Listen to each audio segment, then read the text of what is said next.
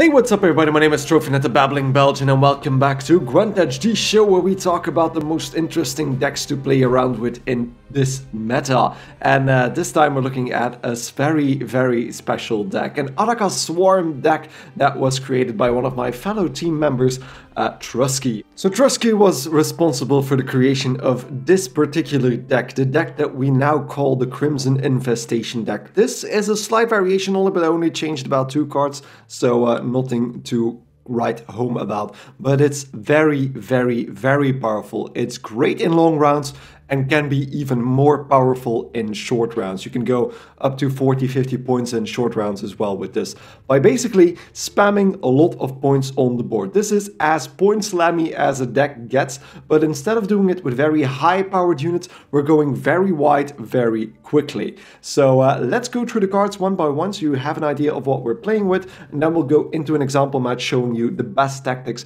while using this deck. It's not that difficult to pilot, but uh, Let's go through the cards. So first up, I gotta thank Truzky for this. There's a squirrel in this deck, so uh, deploy, banish a card from your opponent's graveyard can be used for echo card removal on your opponent's part or even removing Ceres from the graveyard or stuff like that. Just very powerful uh, as a 4 provision bronze, but of course very situational as well. Then double natural selection, damage unit by 4 and spawn drones for the excess amount of damage that you've uh, dealt. So you can gain some extra drones out of that or just take out something that is for power.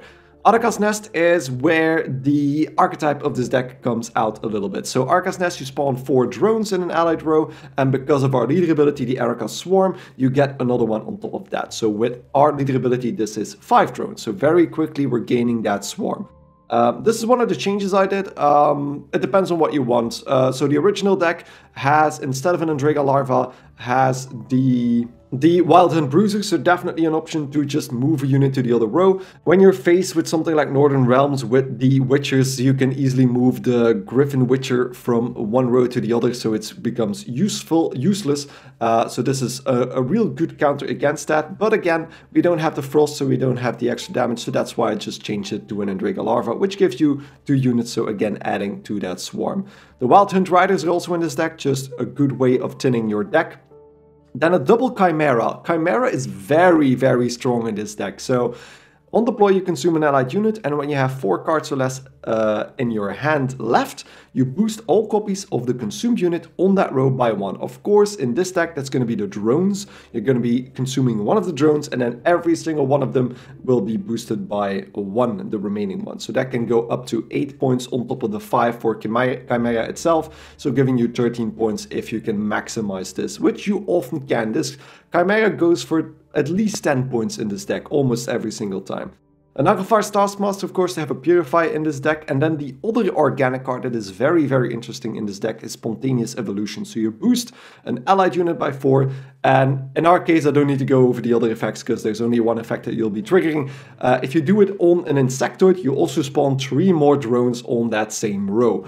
And you get another one because of Arachas Swarm. So this gives you 4 drones and a 4 point boost, so every single time there's going to be 8 points very powerful, especially if you start with an Arachas Nest and then a Spontaneous Evolution. You uh, get 9 units on the board in one, uh, well, in 2 turns, which is uh, about as quickly as this is gonna go. Dorgare is also in this deck, so 6 power um, and just a simple lock, another way to counter your opponent's tactics. Um, then we have Parasites, of course, another simple 6 damage hit, also giving you an extra drone because it is an organic card. Um, since we're swarming, Bone Talisman can't be uh, omitted from this deck either, so boosts all allied units by one, just very powerful on a big swarm. Whispess Tribute gives you the option to pull an organic card from your deck, um, just a very good tutor for the organic cards, especially for the most powerful one we're still about to talk about. Um, and then we have the Arachas Behemoth. So we're getting into the gold cards here. Um, this big boy spawns two drones on this own row and then boosts all other insectoids. So except for him, not the, the other two drones that he spawns, he will boost as well. But he boosts all other insectoids in that row by one. So he can boost an entire row if you set this up correctly. So for example, with an Arachas Nest, you get five drones. You may want to use your Arachas Swarm ability to add another one, giving you six. And then can put Arachas Behemoth on that row and it's filled completely. Um, then the other change that I did, originally this was Knickers, very good option as well if you want to have some extra thinning in this deck, making it a little more uh, consistent, but I like to go with Goliath anyway, it's a 10 point for 8, um, and it's just a good way to uh, have that one single unit on the board if you still have one tiny space left and uh, slam those 10 extra points on the board. Then Doldulok. Doldulok is actually very interesting in this deck as well. So you're always going to be using that, or almost always going to be using this to spawn a Chimera. Again, we talked about that. But then the order ability gives you two extra drones, especially powerful in this deck, and then uh, puts the highest power unit that is still in your deck on the top of your deck. So be careful when you use this facing a Nilfgaardian deck. So try to do that on a pass round or something like that, so you definitely don't lose out on that high power card. And then, of course, my girl, my girl, Yennefer of Vengerberg gives you a boatload of points in this deck. So if you put her on the range row, you boost all other units on the field by 2. That includes your opponent's units, but again, weakens Swarm very, very quickly. Most of your other opponents will not be able to do so unless we're going against like Congregates or um, Squirtle Elves. Uh, those might be able to uh, catch up to you. But uh, other than that, there's not a single deck that can swarm as quickly as this. Um, so very powerful. If you're facing a mirror, you can also use Yennefer as a counter by putting on the melee row. If your opponent has a large swarm and you don't have anything anymore, you can just damage all other units by two. But usually they're going for the ranged option. Now we have Crimson Curse. Um, I'm really, I'm really, I'm really happy about this. The fact that this card has finally found its way in a very powerful meta deck. Um, it has been changed quite recently, so it now spawns the Blood Moon on an enemy row for 5 turns, and then spawns two Ekimmaras in the opposite row. So the Ekimmaras have been boosted to 3 power from 2 before, and the Blood Moon still has the effect that it applies bleeding for 2 turns to a random unit on that row. If that unit is already bleeding, then it deals 2 damage instead. So very powerful, Possibly, but of course the points can go a bit wildly out of control if you uh, if this if you get unlucky. Basically, it depends on your uh, matchup there. But still, it could be 16 points. Usually goes for a good 10 or more. Um, so definitely something to keep an eye out for. And again, it's an organic card, so you get another drone for that as well. Korathi Heatwave, again, very good counter against scenario cards or big power units. Triss Telekinesis basically allows you to um, I would go for either another Arachas Nest, not that powerful, Spontaneous Evolution, a little bit better if you need it, or of course if you play this at the very very end and you get lucky to get the option, the Bone Talisman. Playing this at the very end might very well just put you over and give you the match, because could be very powerful with another Bone Talisman on top of the one that you already have. And then of course Oneiromancy for consistency, allowing you to pull uh, two cards from your deck uh, spread out over two rounds. Um, we talked about the leader ability um, just a little bit already, but every time you play an organic card, you spawn a drone on a random allied row, and with the order ability, you have five charges to place drones wherever you want. So that is the deck. We're gonna just point slam the heck out of somebody. Come join me in the example match. And we're facing Skellige, but with the Battle Trance ability, so that actually gives us a good chance to win here. So we'll see how it works out, but looks like we're already getting some juicy, juicy spawning, swarming cards. Uh, we got Yennefer, we got Triss, so we got both of our love interests in hand already. Uh, the Purify is gonna have to wait until later, I think. I'm gonna get rid of the Purify for now. We get Crimson Curse, that's something you can actually use rather early if you want to. We have double removal. Uh, so let's just get rid of the 4 provision 1 and we get the Riders. Okay, so the Riders we want to of course get rid of. So as long as our opponent doesn't play a high powered card, yeah, Crow Mother is absolutely fine. We can banish it, but I think the 4 power you're getting out of that, that was... That was a very nice opening play, 14 points, blam. Um, let's just start slow with the Wild Hunt Riders. Doesn't look like we'll be able to use Yennefer properly in this first round. So we're gonna have to wait with that until the last round, most likely, unless our opponent tries to push, but should be fine for now. And we get a Crow Messenger, so again 8 points with another double beast on the board. Um, you know what? I could actually try and just use the Crimson Curse now. We're gonna get full points out of that. And we get some nice tempo as well. So we get the weather effect, they're gonna start bleeding out. And we got the two extra units on our side of the field. And we get our first drone as well. The first drone of the match, the first of many. We get a bunch more crows as well. But again, we don't really mind. Uh, I'm not going to use Yennefer in this round, but what I do like to do, especially with Spontaneous Evolution in our hand, I spawn one Arachas drone on the empty row because I don't want to keep filling that top row. Uh, and then we use Spontaneous Evolution on that one Arachas drone that's alone, and then we can spread out on both rows just a little bit.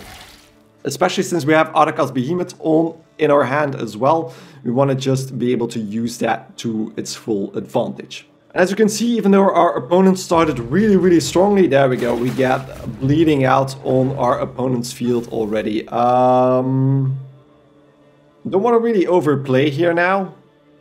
We won't be getting an extra point out of this, so might as well just spend a Chimera. We have two more ways to get Chimeras, uh, so I don't really mind basically wasting that one Chimera. So let's just do this.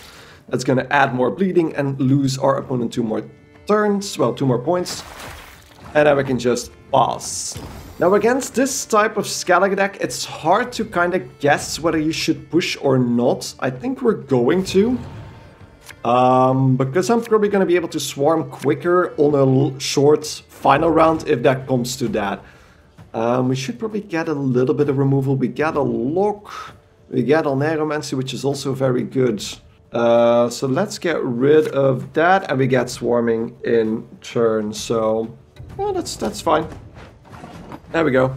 And we go first, so of course we're gonna start by swarming. There we go. There we there we go.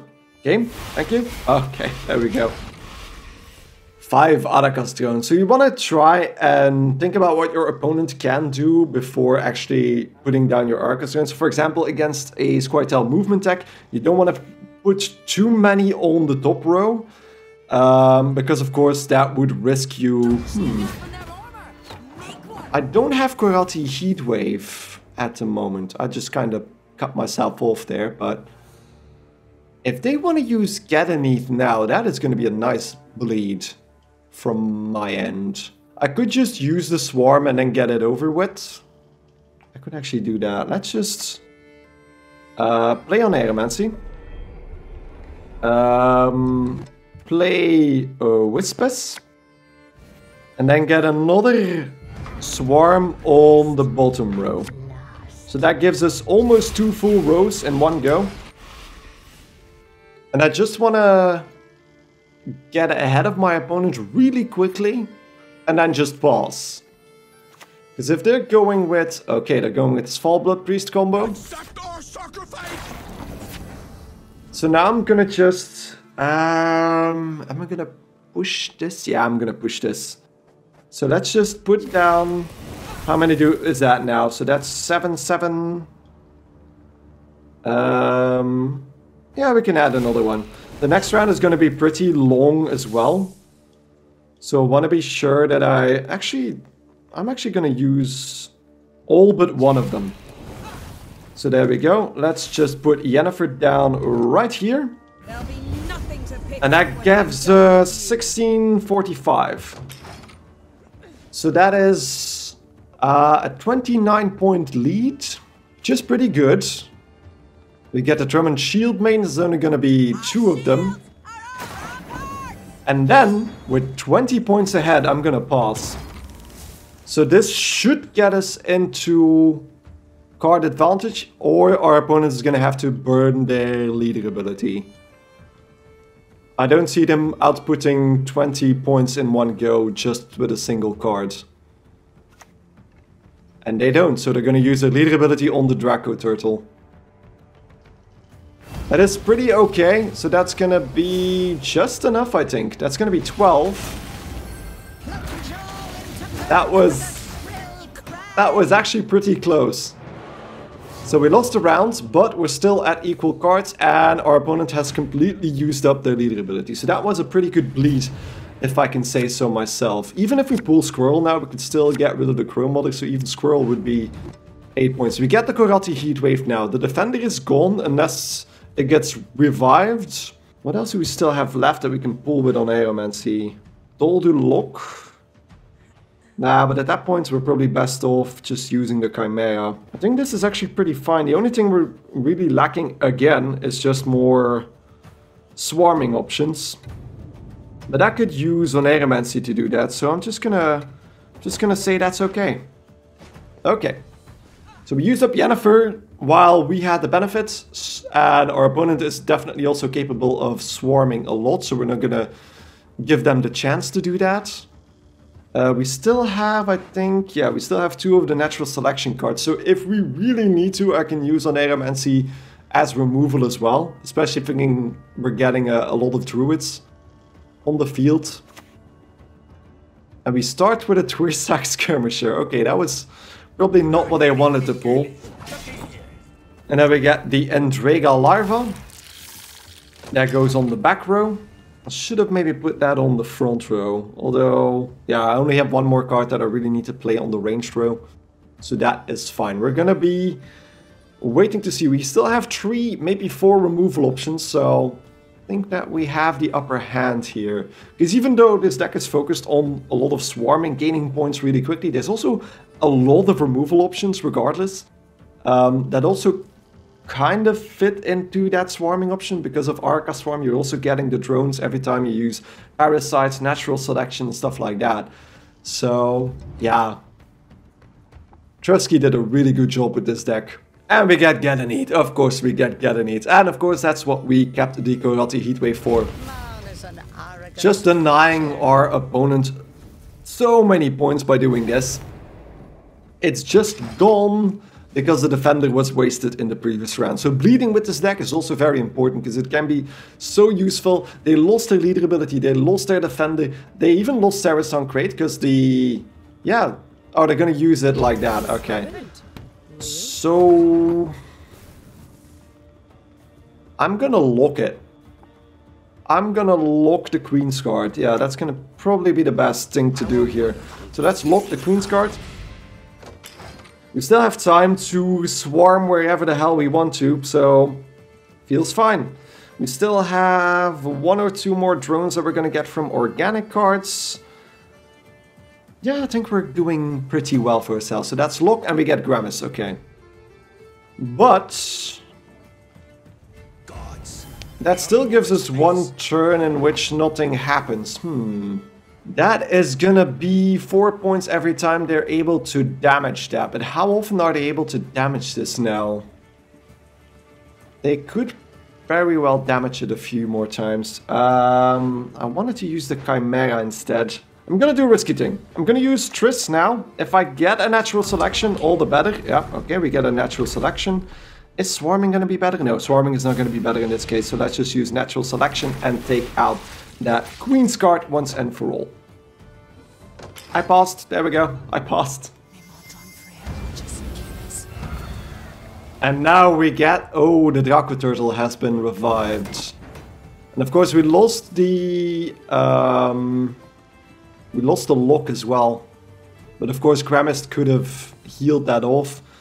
Do we have anything in the deck that, that can take that out? I should have banished it with the squirrel. Although anything could have been removed there. Um, the Chimera itself is not going to be much. We could do this. And then put the Arachas Behemoth right next to it. That will just boost them all. And we got one point extra. But right now it seems like our opponent has the upper hand just a little bit with the Draco Turtle. Potentially, because I can't take it out anymore. I still have Parasites if the plan is to put a Priest right next to it. Um, which might very well be the case. And that gives us another drone. This is going to be tight. Depends on the amount of alchemy cards that I still have left. That is going to be, yeah, Ermion. Is that going to go right on top of that? Yeah. So that's going to be 12 points.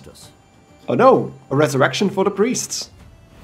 A resurrection for the priest, but I'm going to take that out.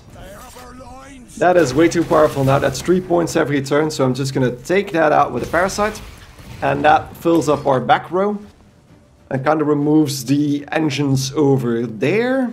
I'm guessing they're gonna get a lot of Mardroemes as well. There we go. So that's 12 points. 13 points because of the extra point they're getting on the uh, the the Crow Clan Preacher. Um, yeah, next up, we don't really have another choice. Let's play uh, Dol Dulok. Let's play Dol Dulok, and Dol Dulok is, as I said, gonna be a Chimera. We play the Chimera over here and eat one of the drones. That gives us also a very nice batch of points. We lost two points on that run, so that gave us 11 points based on what our opponent did. That's too bad that I don't have that Korathi anymore, but again, Gedyneith would have been more points, I think. It's usually the bigger option. I still have 10 points and then the Swarm, so that's going to be 12 because of the Endrega Larva. The question is, is there another surprise in that deck? I feel like they've spent most of their gold cards. We get a Giga Scorpion Decoction that's going to take out one unit over there. Now the question is, is their last card a tall removal card or not? It might very well be Korathi Heatwave. And if I do that... Yeah, I'm gonna do this. I'm gonna use the Bone Talisman first. That's only one point in difference, but if our opponent has Korathi Heatwave, that's gonna save us three points. So now we're ahead. We have 10 more points. Uh, 12 more points, because the Endrega Larva. And now we're getting... Korathi Heatwave, yes! Yes! Called it! So that's just taking out that uh, 6.2, but uh, nevertheless... Nevertheless, we took that win. There we go. With Goliath even. So my uh, tiny, tiny adjustment of the deck kind of paid off.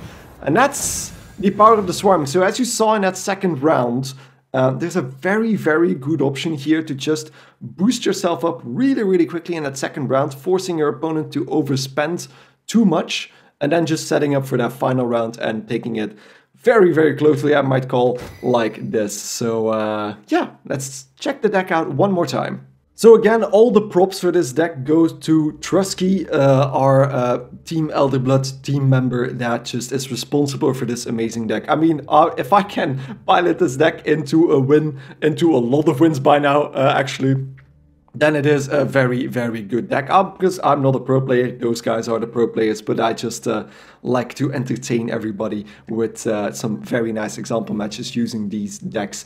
Um, so hope you guys enjoyed it. Uh, this is one more time the deck list. You can also check out the deck list and a very, very detailed description of the deck, how to use it, what the matchups are on our meta snapshot. So you can check that out as well. The link is down there in the description. And of course, this deck is at the very top of it because uh, I think we're pretty unique uh, in the uh, meta snapshot scene with that because this deck is at the very top of it, the Crimson Infestation deck. So with that said, I'd like to thank Truzky one more time for his amazing deck. That was just, it's a it's a pleasure to be playing this and I'm very honored that I could bring this for our team as well because this is going to be added to the snapshot as a very little demonstration of this very powerful deck. So thank you guys. It's Normancy for watching. Let me know what you think of this deck. Let me know in the comment section. Let's discuss what you think of this deck because it's one of a kind. Uh, it's going to be popping up a lot all over the place in the uh, and, and on the ladder on pro it's gonna be everywhere. Um, again this deck has some counters of course. If you're facing Skellige with a lot of damage pings you might be in trouble. If you're facing movement that's gonna also counter this deck rather hard because of the amount of uh, white punish that decks like that can perform. Uh, but other than that all the, all the other matchups, aside from maybe Witches, of course, because who beats Witches, um, are very, very favorable. So, uh, hope you guys enjoyed this deck guide of mine, and uh, see you guys in the next episode of Gwent Thanks for watching, and stay nutty. Goodbye.